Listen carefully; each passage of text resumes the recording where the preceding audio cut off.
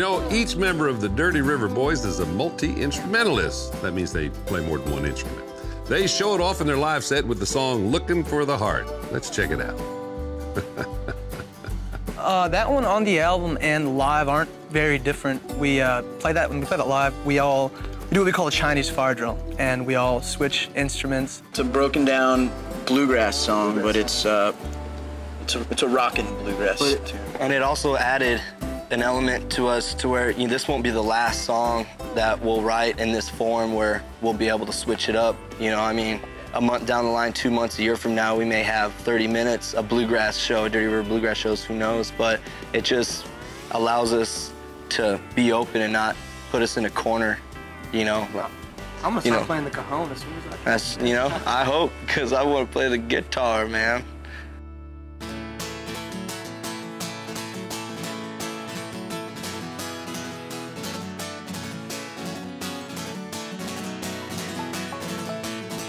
But I'm looking for the heart you took from me. I'm looking for the heart you took from me. I've been looking in the sand, it's along the Rio Grande. I'm still looking for the heart you took from me. When I cross the river into lawless land,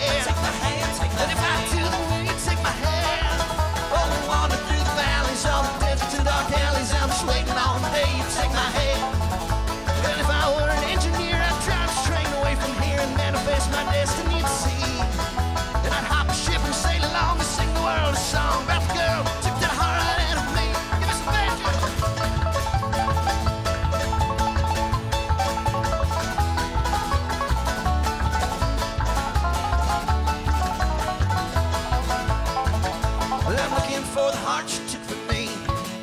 I'm looking for the heart you took from me. I've been looking in the sand in this lonely Rio Grande. I'm still looking for the heart you took from me. And I'm still looking for